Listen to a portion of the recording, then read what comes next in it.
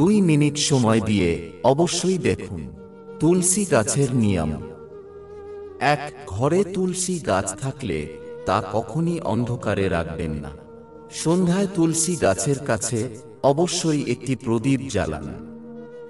দুই, রবিবার তুলসী গাছে জল অর্পণ করবেন না বা এর পাতা তুলবেন না, এটি করা অশুভ বলে মনে করা হয়। তিন, মাটিতে তুলসী গাছ লাগাবেন না।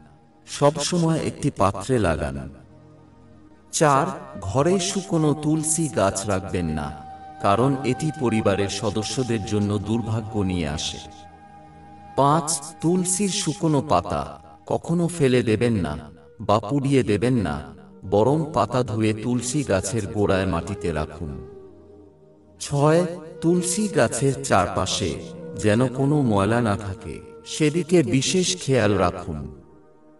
সাত তুলসী গাছকে কখনই দক্ষিণ পূর্ব দিকে রাখবেন না, কারণ এই দিকটিকে আগুনের দিক বলে মনে করা হয়। আট, কখনোই অযথা তুলসী পাতা ছিঁড়বেন না, এটা করা পাপ বলে মনে করা হয়। নয়, তুলসী গাছ কোনো কাঁটাযুক্ত গাছের কাছে রাখা উচিত নয়। দশ, তুলসী পাতা কখনই ছুরি, কাঁচি বা নখের সাহায্যে তুলে ফেলা উচিত নয়। এর জন্য আঙ্গুল ব্যবহার করুন। এগারো, স্নান না করে তুলসী পাতা স্পর্শ বা তুলবেন না। এই ধরনের পাতা ভগবানের পূজায় গ্রহণ করা হয় না।